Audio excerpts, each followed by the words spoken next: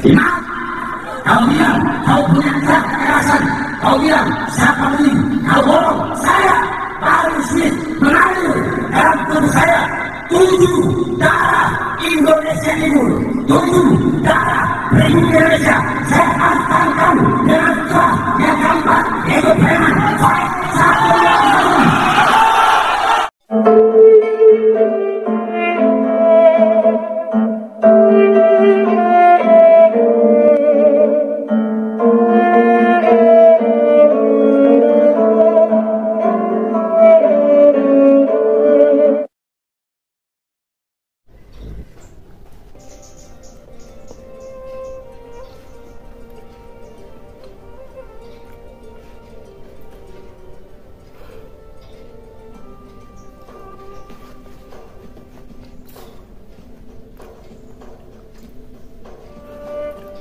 Assalamualaikum warahmatullahi wabarakatuh.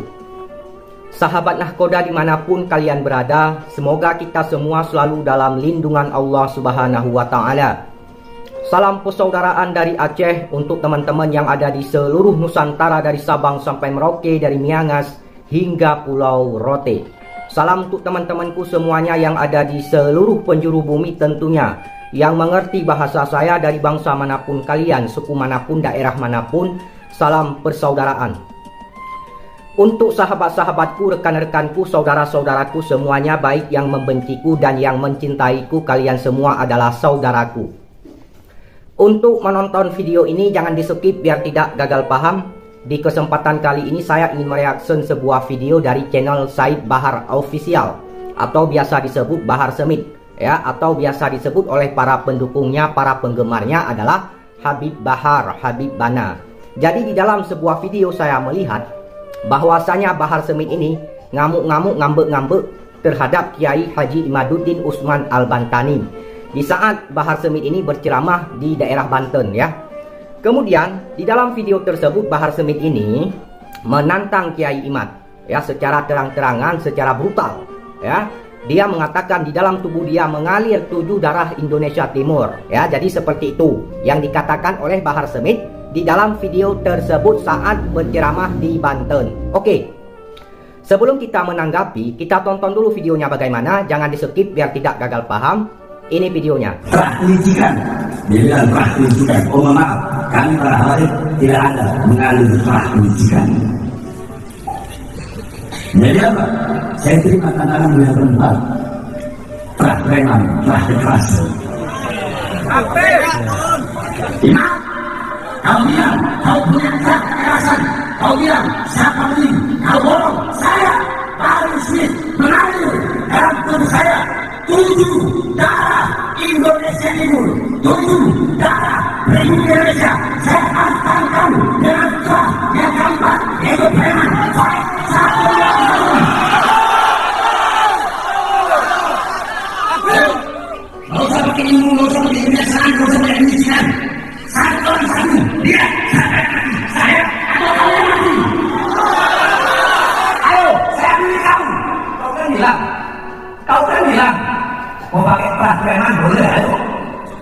Lu jual, gua borong. Ya, saya pilih.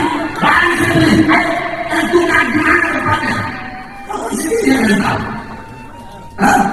Kau yang. Saya sendiri, saya yang. Wah macam apa yang ini? Um. Habaib sama kiai mau bercanda. Habaib dan kiai tidak akan pernah bisa bercanda. Tapi ya sahabat yang mengikuti mereka. Apalagi saya kepada Yusuf dan Yusuf Dulu dia pakai azamat kholi. Dulu. Sekarang udah pakai azamat kholi semenjak saya bahas tentang fam azamat Nah, sekarang wali songo mereka bilang bukan dari jalur Al-Imam Amul Fadil. Mereka bikin wali songo dari jalur Musa Al-Kazim. Lihat, coba. Mereka bikin dari Musa Al-Kazim.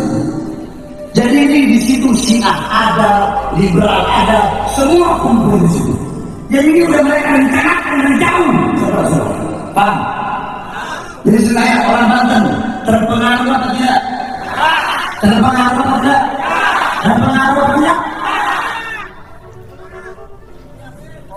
Ya aja. Itu terpengaruh sih. Betul? Betul? Bilang sama Iman. Bilang, bilang, bilang, bilang. Ini video kasih dia. Saya dia. Dia kan bilang, mau pakai pas preman boleh. Eh, mau preman preman saya tahu.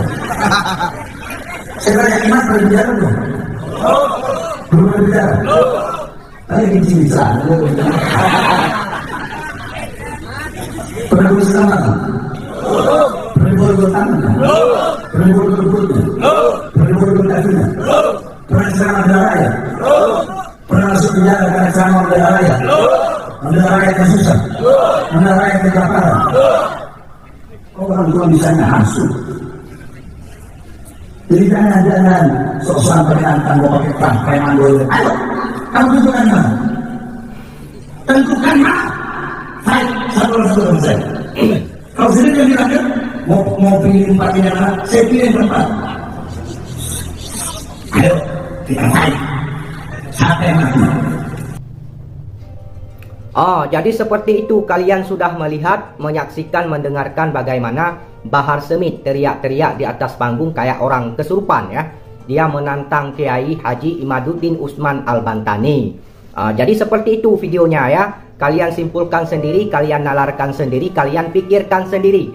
Judul videonya adalah Nyesel nggak nonton ya. Imat disikat di sarangnya. Jadi judul videonya seperti itu. Kemudian saya ingin mengatakan kepada kalian semua bahwasanya walaupun Bahar Semit ngamuk-ngamuk, ngambek-ngambek, marah-marah di atas panggung saat berceramah, namun tidak sedikit pun ya bisa membatalkan tesis Kiai Haji Imaduddin Usman Al-Bantani. Sejauh ini ya polemik nasab ini belum ada titik temunya. Artinya tesis Kiai Haji Imaduddin Usman Al-Bantani belum terpatahkan, belum terbantahkan ya. Beberapa kurun waktu, ya, beberapa waktu yang lalu, Kiai Haji Imaduddin Usman Al-Bantani ini membuat penelitian terhadap nasab Ba'alawi yang dimana kata beliau bahwasanya nasab Ba'alawi ini tidak terkonfirmasi selama 550 tahun, ya. Bahwasanya Ahmad Isa Al-Muhajir tidak disebutkan memiliki anak yang bernama Ubaidillah.